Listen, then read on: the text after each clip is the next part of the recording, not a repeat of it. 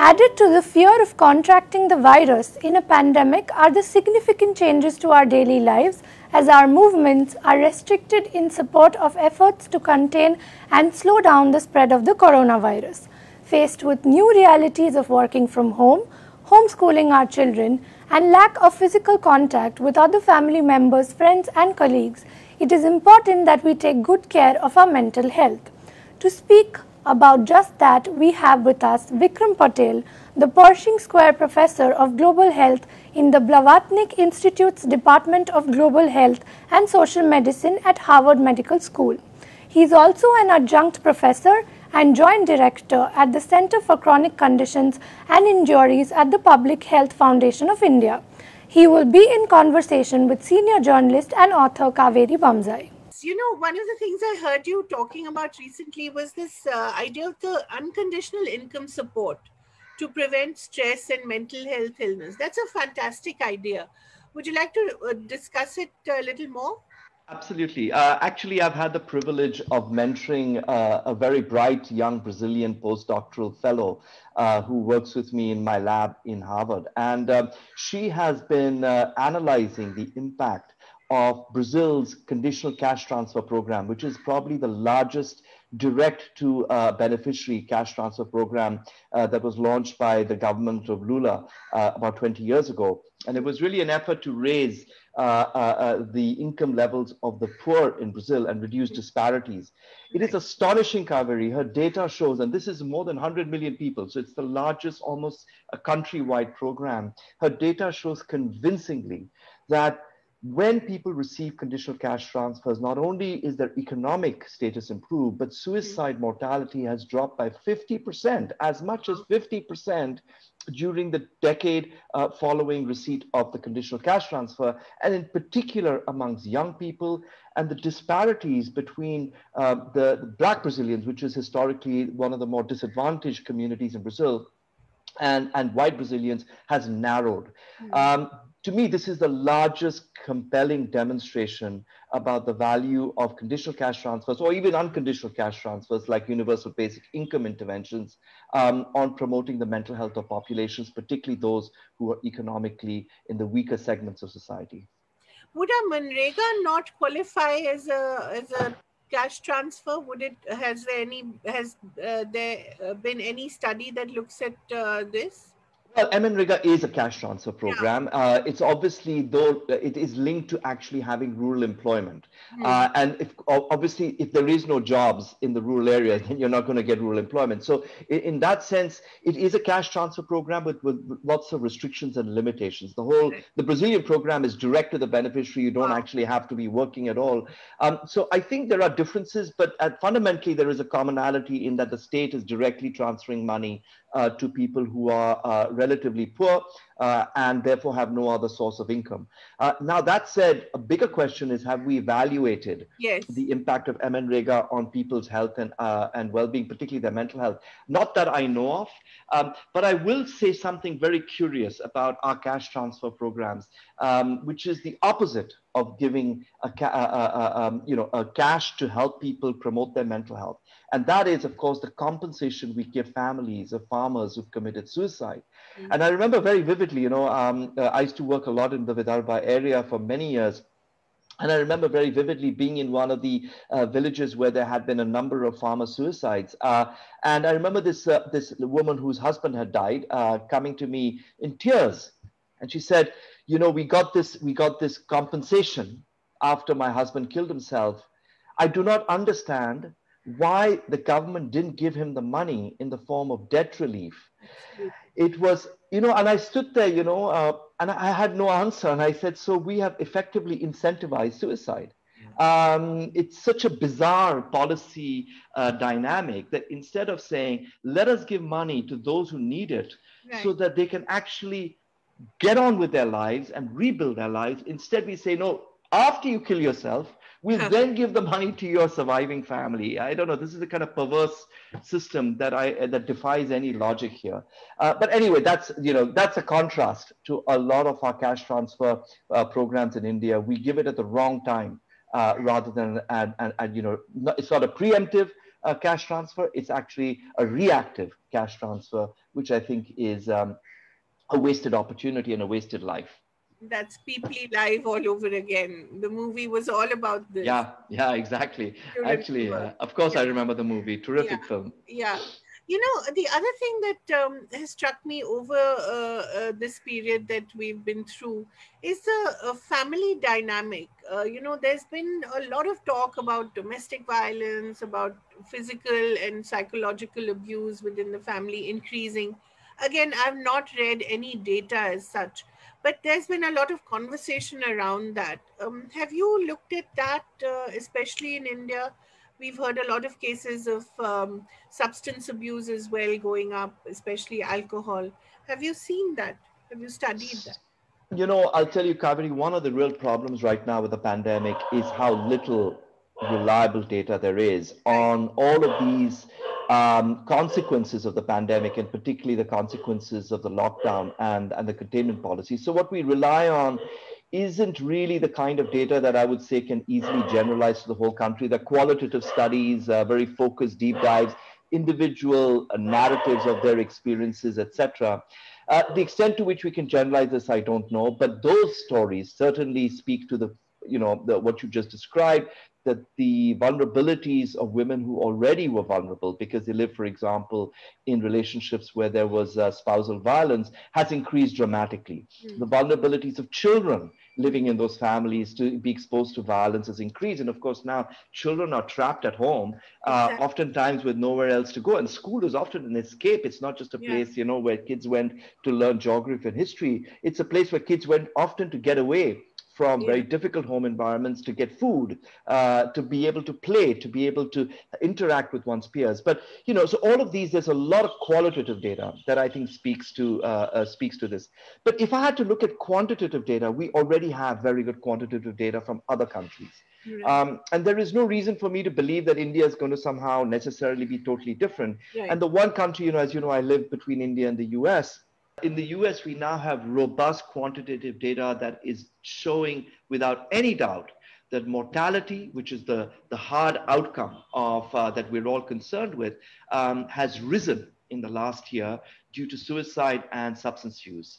Um, this is a very dangerous trend in the US, um, and it is being attributed. Uh, obviously, these are early data. In fact, this is actually a report that is still confidential, but will be published in the very near future. Uh, but what it's clearly indicating is that there is a crisis of mental health in the US that is playing itself out, not just in terms of people reporting poor mental health symptoms, uh, but actually people taking actions that can ultimately lead to the loss of their own lives. For example, through heavy drinking, uh, the use of more dangerous substances like opioids, as well as, of course, suicide. Uh, unfortunately, our data systems in India are nowhere near as real time as, as, as the one in the US. So we'll probably only know what the impact has been in the in the last year and in, you know perhaps in a year from now, uh, which is unfortunate do you feel that the family has changed fundamentally during this period uh, uh, and uh, is, is that change irreversible?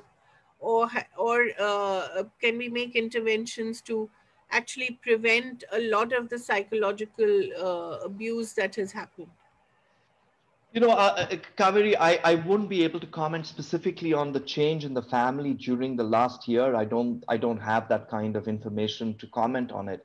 But I will say one thing is that actually working with families, in my mind, is the most important way to prevent gender-based violence. Uh, right now, our state policy is very, again, very reactive. Yeah. We wait for the violence to occur and then we try to help uh, uh, the woman who is affected uh, to find a way around that. And in a patriarchal society like ours, we know that actually the vast majority of women neither seek that kind of help because right. they're you know in a sense in a entrapped really in this kind of society that they are living in but also that the solutions we're offering them that is to criminalize their male partner yeah. uh, or to get them to leave homes are really acceptable to a very small fraction yeah.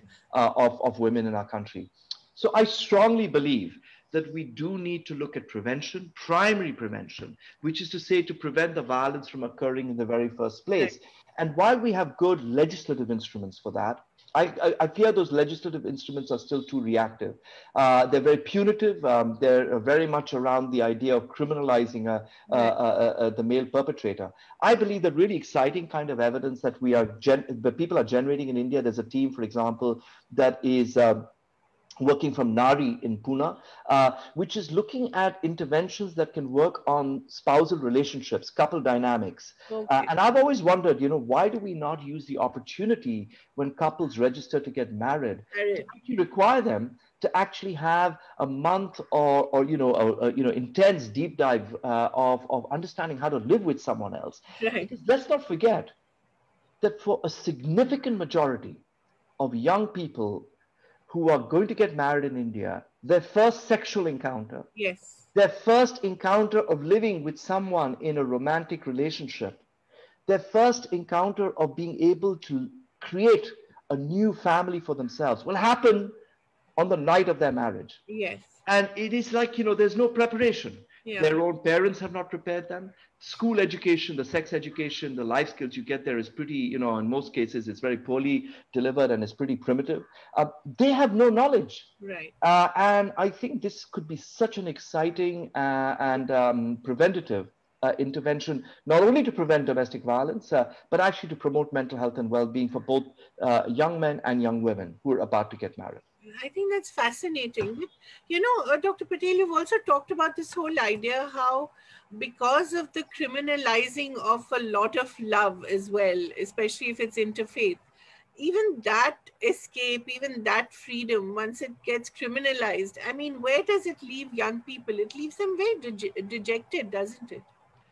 Well, Kaveri, you know, I as you, I think you're referring to my recent writings here. Yes. Let me let me tell you first of all, India has a crisis of young people's mental health. Yeah. Every metric, whether it, and I, you know, by, by crisis, I don't mean just, you know, young people are angry or young people are sad. No, young people are killing themselves, um, you know, in, in epic numbers. Uh, uh, the, India's youth suicide rate is one of the highest on the planet, um, you know, and it has been steadily going up over the last decade. Um, we've known about this, and by the way, these are not my data; these are the government's own data, you know. So it's there's the no NCRB secret about data. correct the NCRB data and the RGI data, the million death study that the Registrar General of India uh, conducts, which I think is far more reliable, you know, because it's not based on police records, but actually, uh, uh um, you know, or cause of death assessments in a in a in a representative sample of a million households in the country. So this, the fact is that there is a crisis of young people's mental health. The fact is we have no policy response to it. We have a national mental health policy, uh, which is a policy, but actually there is very little recognition of the differing needs of young people and the rest of the population. And also the fact that most young people's mental health problems are not just linked to some kind of biological medical condition or a psychiatric disorder. It's got to do with the social environments that young people are finding themselves in. And one of those very important social drivers of young people's suicide and poor mental health is the denial of opportunities that fit the aspirations of India's millennials. And those aspirations are totally different from those of their parents. Mm. They are shaped by India's economic development story, they're shaped by globalization, and of course, they're shaped by social media. And so we have this, this generation of India's youth who have different aspirations from that of their parents and grandparents. Right. And there is a real, literally, a real battle about whose aspirations are going to prevail. And in that battle right now, the emergence of very conservative, orthodox attitudes about young people's sexuality and the, their, their right to choose who they love, who mm. they live with, is, I think, at the forefront of what is driving many young people to become depressed yes. and ultimately to kill themselves. Right. Um, uh, Dr. Patel, you've also argued for the uh, decriminalizing of marijuana, which again is a very uh, contentious uh, topic in India. But I mean, it stands to reason, doesn't it? Uh, uh, of, of, course, a lot of people feel that it's the gateway to harder drugs. But what do you think? I mean, what do you think should happen in India? We don't have, I mean, we don't have an obvious opioid crisis, but I think we do have uh, a, rising drug issue in India? Yeah, we definitely, um, you know, uh, we it's it's not a it's not a clear cut uh, case. It depends very much on a, you know, assessing the relative costs and benefits of a total prohibitionary policy on yeah. any substance has to be then balanced against a similar cost benefit analysis of a more liberal decriminalized or even a legalized policy um, and uh, one has to one has to really judge the, the, the, the, this in a very empirical way one can't be guided only by one's ideology mm-hmm. and this is my understanding of the situation that by criminalizing about what could be potentially 10% of India's population, uh, you are not going to achieve any kind of development uh, uh, uh, uh goal, especially when 99% of those 10% will never graduate to more serious substances. That's the first thing to bear in mind. So, in order to control the gateway to harder drugs by slamming a criminal charge on the overwhelming majority of users of cannabis who will never get into more serious drug use seems to me to be completely counterintuitive. Instead, there are many other ways that I know work in the public health context that can help minimize the graduation into more serious drugs. So that's the first thing to say. The second, the opioid crisis in the US, which is the one we, which is where the country, you know, the country that's been worst affected, is not just simply about the availability of drugs. It's about the medical industrial complex. There is a rich history about this. It is about pharmaceutical companies that were heavily lobbying the US government mm. to make pain relief uh, one of the five cardinal signs uh, of, um, of patient care. The US Congress actually passed a law requiring doctors to actually prescribe medications that their pharmaceutical donors and sponsors were saying they should prescribe. Right. It is a systematic collusion between doctors, pharmacists, uh, the pharmaceutical industry, and elected officials. And I think we should not think the opioid is the problem here. The, the problem is the commercialization and the deep, deep state, the dark state that exists between the pharmaceutical lobby uh, and politicians. We need to protect India from that. Right. If there is one lesson, what is far more dangerous than the drug itself is the collusion of private sector commercial interests with the uh, uh with, with, with legislative uh, legislation and, and, and, and our elected officials as long as we continue to make sure that if we decriminalize drugs, but do it purely under a state sponsored policy right. where the sale and distribution of drugs is entirely controlled by the state, uh, is heavily regulated, is heavily taxed, in the, under the same kinds of rules in many ways to what we do for tobacco. Mm. Actually, tobacco is commercialized, and you can see that. Uh, that but you know, if you remove the commercial uh, interest, but but everything else is similar to tobacco taxation right. prohibition of young people's use provision of counseling to, for those who want to stop etc i believe that is a safe and more balanced policy uh, towards uh, cannabis in our country right let's go back a little to uh, the mental health issue the uh, uh, the pandemic um, uh, how did you see uh, India reacting? Uh, I'm I'm especially concerned about the middle class because you know they've often been the intellectual and emotional leaders of the country. I, I had the sense that when we saw the kind of migration happening, uh, you know, people just uh, being abandoned, I had the sense that we uh, displayed an utter lack of empathy and sensitivity. Do you feel that somewhere the middle class has lost that leadership of uh, uh, the country in a way? Yeah, well, Kaveri, this is such a troubling question, you know, because obviously you and me belong to that same class. Yes. Uh, and so we're talking about our own class here. Ourselves. Ourselves and our class, you know, our families, our, our social networks, people we, we dine with, we yeah. live with.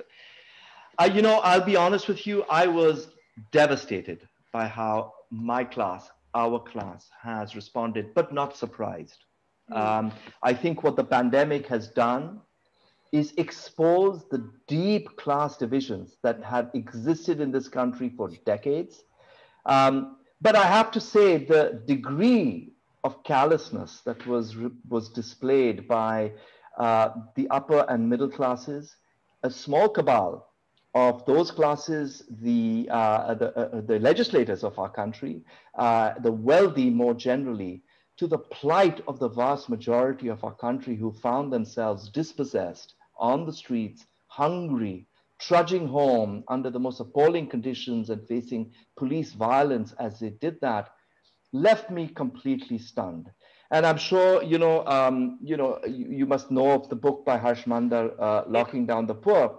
Oh my God, I that do, is such an is, indictment of us. Yeah, you know. it is a heartrending and brutal, but absolutely on the mark account of how India's upper classes looked away when the majority of our people uh, were, were, needed us the most. Um, and I believe this, this division has also woken up the rest of our country to realizing how callous, selfish, and uncaring upper classes are. Yeah. And that when it comes to um, the crunch, India's poor and marginalized are on their own. Absolutely. We're not going to be standing out for them. Right. And I think that's a terribly harsh lesson, isn't it? Well, I mean, it is a harsh, harsh lesson, and it tells you how long a distance we have to go as a society to build a civil society that right. is truly integrated. We talk of national identity. To me, actually, I don't think we have one. If there was ever a proof that we don't don't stand together as a nation, what happened during and after the lockdown is vivid proof that we only stood for ourselves and our particular class. Uh, that is what mattered. You know, I remember the Resident Welfare Association colonies of Delhi where the only concern of the colonies was not to let my servants go out of the house because they will bring the virus back and infect me. As opposed to thinking, what are my servants' families doing as they are locked into my house and they are locked out of the colony? Right. It staggered the imagination that all that we could think about was our own safety and our own needs. And that it almost became at times conversations I would have with people in those colonies. It almost sounded like you're talking about slaves. Uh, you know, you're talking indentured laborers. You know, it was shocking, beyond belief shocking. But I think um, the good thing I'll tell you in this is that the vast majority of India's people now realize yeah. uh, that we are not going to be around for them and that they're going to have to make the right decisions in terms of their livelihoods, uh, the political choices they make, um, that is going to actually stand for their interests yeah and i hope they make the right choices. The other thing i think that we've not talked about enough as a society is the impact on young children who've actually lost a year of socializing of playing with uh, their peers of studying in classrooms you know especially early early age. I wonder what kind of impact it must have had on their um, psychology. Yeah i have been very worried about this kaveri. You know um, you know, the first thing to say is that that's another great example of how those who have no voice yeah. uh, have had no place at the table when decisions were made. Right. We've just talked about the migrant workers and more generally India's, uh, you know, daily wage workers, not just migrant workers. Let's be honest, you know, the people who are most affected by the lockdown are those who earn every day. Yeah. Yeah. I don't earn every day. It affected me not at all. Um, you know, um, uh, but if I was earning every day, what I ate tomorrow was based on what I earned today. Right. Uh, um, then obviously a, a, strategy like a lockdown basically means I'll go hungry tomorrow, and so will my wife or my or my husband and my kids. So, in the same way, I would argue children's voices have also been completely blanked out. Right. Yet, we have taken away from children the single most important sector for their development and their well-being, which is their school, schools. What have, we, what have we done? We've essentially reduced schools to places of learning. Yeah. Firstly, which is of course a completely false and narrow narrative of what schools actually are for yeah. kids. But secondly, we've assumed that all of India's kids have access to remote learning opportunities. Exactly. I mean, I cannot even. Mind. It's it's mind-boggling, right? I mean, you're living in a country. You say I mean, are you even aware of what India's children's experiences are to assume that teachers at institutions, uh, you know, particularly in the government sector, and the kids who go there will automatically pivot to remote learning? I mean, are you even living in a real India? Do you have connection with reality? And you know, again, I have to say it's another great example of how we've totally thrown our children under the bus. Uh, uh, eh, you know, in Goa, where I am right now, here's the incredible thing casinos have already opened. Casinos opened three to four months ago. Schools, schools, are still closed. Just think about that. Who have we prioritized? Gamblers to come to Goa to gamble on ships versus our own children to get into schools and start doing what schools, uh, you know, in experience yeah. what schools actually offer uh, children. What a bizarre set of policies. Uh, you know, how we prioritize in this country sometimes leaves me completely baffled.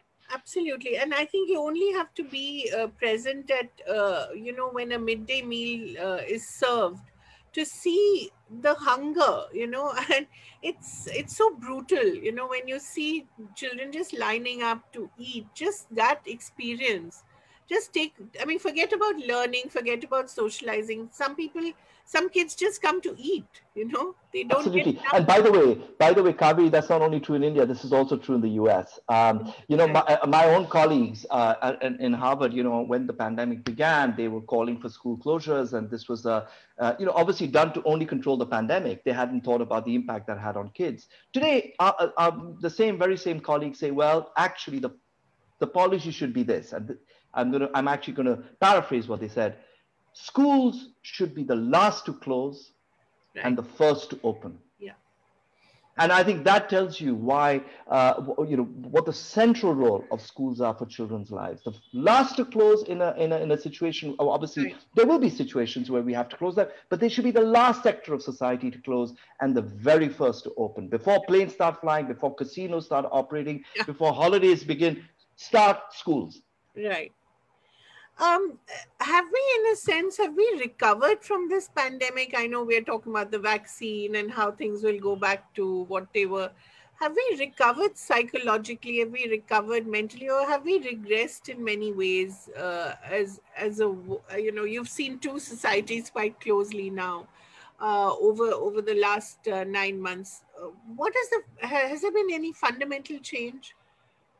You know I, I because this is such a fast changing uh, situation yeah. you know i can only speak for now. Maybe by tomorrow the situation will change again. Some new variant will appear and etc but from what we know right now what we can see right now i have to say i detect a real shift in mood. Um, i find that people are a lot more optimistic uh, you know uh, there is a sense that okay we've finally beaten this damn thing um, and I have to say, there is a real growing confidence again in science, which I, which I think is one of the positive things that come out of this whole pandemic. Because let's not let's not minimize the miracle yeah. that has happened in the last year. It's truly a miracle, uh, Kaveri. The miracle that just over a year ago, a new unknown pathogen spread across the world, yeah. and in just about a year, we now have effective, incredibly effective vaccines uh, many different ones as well. It is a true miracle of science. And I think if there's anything that, if there's one positive, there are many things that should come out of the pandemic, of course. But amongst them, one that I think should really be very important is the value of science uh, as a central component of a country's development policy. The other thing I will also add is the value of a strong public healthcare system, because where has the public healthcare system been until the vaccination campaign began? They, they are really the foundation. If today we're able to reach as many people as we have, it is thanks to our public healthcare system. and I think this is another, you know, for the first time, people of our class are going to government hospitals to get a COVID vaccine because that's the only place you could go. And I think we're finally seeing that this is a sector that belongs to all of us. All of us. And it is something we should demand our government to strengthen and invest in you know when we start doing that to our government schools that's when real change will happen as well these two sectors if we if the middle class starts taking it seriously i think you know there'll be a world of change but um you know you talked about this confidence in science uh, but uh, going forward do you see it being part of policy in any way uh, do you see um, uh, you know, for instance, we've been working on the HIV vaccine for the longest time. Nothing came of it. Although a lot of those people were actually redeployed to, uh, you know, um, uh, work on uh, to research this vaccine. But um, given that this is supposed to occur or recur, do you think that that uh, value of science will remain? Well, you know, I every virus is different. You know, uh, the fact is, you're right about the HIV. You know, HIV is not the only one. Malaria is another one. Malaria, uh, yeah. uh, so you know, I it's not as if I mean, you know, the immune response and um, every pathogen is the same. Yeah. You know, uh, so I wouldn't I wouldn't say oh we succeeded in, in, yeah. in COVID but we failed in HIV. I think there are very fundamental differences between these infections. What I will say is that in spite of our mixed a mixed history of success uh, against infectious diseases, the last year therefore must be seen as even a super miracle.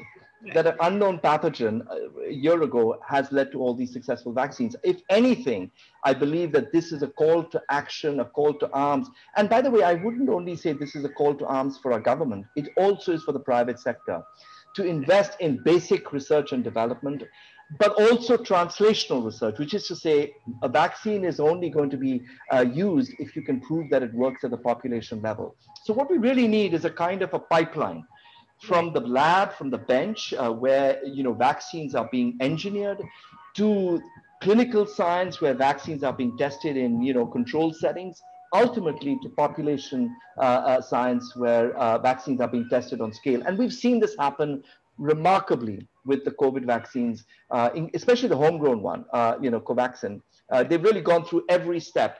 Uh, and I think it's, a, it's an exemplar of what uh, India can achieve if they are provided, if, if people are provided with the right resources, um, both intellectual but also monetary. I wanted to ask you about the deaths of despair, which you've been talking about for a while, the impact of the 2008 recession on uh, uh, mental health and you uh, divided it into the mood and anxiety conditions abuse.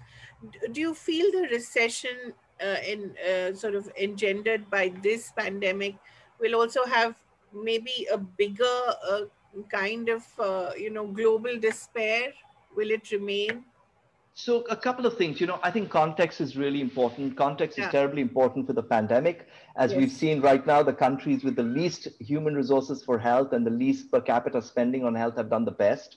Um, and it's you know, fascinating. It is totally fascinating. And you know, people say it's about India. No, it's not actually. India is actually a pretty, uh, pretty high mortality rate compared to yeah. Africa. So you know, there's something else going on, and you know, time will tell what it is. But I mean, you know, I've always argued from the very beginning that context is important, right. and a one-size-fits-all has never been true of any epidemic. And it was absurd to me that right at the outset of this epidemic, we assumed that what happened in northern Italy, what happened in New York City, was uh, immediately what was, was going to happen in Mumbai and Johannesburg. And I, I think it's, it staggers the imagination that more than a century of knowledge about how important context is uh, in, in the spread of the epidemic was thrown out uh, and we just assumed a one size fits all. Anyway, on the, in the same note, you can apply the same to mental health. So, for example, the opioid crisis, as I mentioned earlier, in the US cannot be seen independently of the incredible medical industrial complex of the US. Right. Um, and so that doesn't exist in India. Uh, you know, for example, opioids are not manufactured in the kind of way they're in the US, etc. So I don't fear about opioids in India as I do in the US. Similarly, when it comes to suicide, um, there is a very particular context in the US of suicide uh, of particularly working class and especially white Americans. And a lot of that has to do also with white privilege and the loss of white privilege, particularly in rural uh, counties of the US. Again, that doesn't translate. Uh, to India in the same way. In India, what I would worry about is not so much the economic recession, because I believe that we will bounce back because, you know, this is still a country with a huge internal market. I believe it's orthodoxy. Right. I believe it's polarization. I believe it's the rising oppression of young people to express who they are as individuals, whether it's their politics, whether it's social causes they champion, whether it's their romantic interests. Mm. It is this which is the single biggest threat to um, young people's mental health. I also believe, to be honest, when it comes to farmers, um, that uh, if policies don't take into account their own economic security, um, and there are many ways of doing that. I'm not an expert in that, in that, uh, and I'm not making a judgment for or against the farm laws either. I'm just simply saying that whatever policies are made, if we do not take into account the vulnerable smallholding farmer uh, we will get the same problem as we saw as, as, the US has seen, which is dramatic increases in suicide and substance use in the most vulnerable farmers, and of course, therefore, a worsening of our suicide crisis. Absolutely. Great. It's been great talking to you, Dr. Patel, as always. It's so illuminating and you put everything into perspective and you give us context. And I wanted to recall um, uh, Arundhati Roy's words in Harsh Mander's book, uh, where she said the, uh, the pandemic was not just a mirror, but an x ray. And I thought, wasn't that so perfect? It really was an x ray of our society, of who we are. Yeah, I think she uses the word the pandemic as a portal yeah. Um, and you're absolutely right. I mean, I think uh, that's exactly the way I see it too. It has exposed historic divisions in our society. Right. It has exposed a number of fracture lines in our yeah. country. Um, it's, they've always been around. The pandemic has not created them, but it certainly brought them into full relief. Right. Thank you so much, Dr. Patel. For Thank you, Kaveri. Thank you so much for interviewing me. Bye bye. We hope you enjoyed that session. If you want to catch the other sessions of the ThinkEdu Conclave 2021, you can log on to eventxpress.com, newindianexpress.com or even edexlive.com. If you are more of a social media person, you can also join us on our Facebook, Twitter and YouTube handle. Thank you for watching.